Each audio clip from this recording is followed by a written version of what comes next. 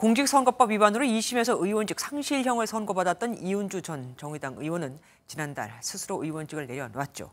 유죄가 확정되기 전에 자신의 비례대표 의원직을 다른 사람에게 넘겨주기 위해서였는데 오늘 대법원이 유죄를 확정했습니다. 하지만 사전 조치 덕분에 정의당의 의석수는 변함이 없게 됐죠.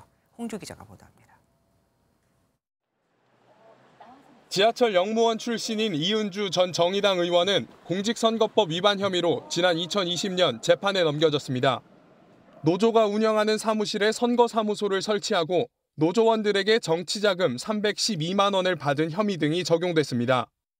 2년 넘게 걸린 1심 재판에서 이 전 의원은 징역 10개월에 집행유예 2년을 선고받았습니다. 이어진 항소심 재판부는 야간에 지지 전화를 한 혐의는 무죄로 봐 징역 8개월에 집행유예 2년으로 감형을 결정했습니다. 공직선거법상 벌금 100만 원 이상의 형이 확정되면 의원직을 상실하는 탓에 이전 의원은 곧바로 상고했습니다. 하지만 대법원의 심리가 진행되던 지난달 임기를 거의 다 채운 이전 의원은 의원직을 스스로 내려놨습니다. 비례대표 승계 마감 기한을 닷새 앞둔 시점이었습니다. 저에게 주어진 정치의 태, 책임을 다하지 못하고 여기서 멈추는 것이 못내 안타깝고 죄송할 따름입니다. 승계 기한을 지나서도 의원직을 유지하고 있었다면 비례대표를 넘겨줄 수 없었기 때문에 미리 물러난 것이 아니냐는 비난도 있었습니다.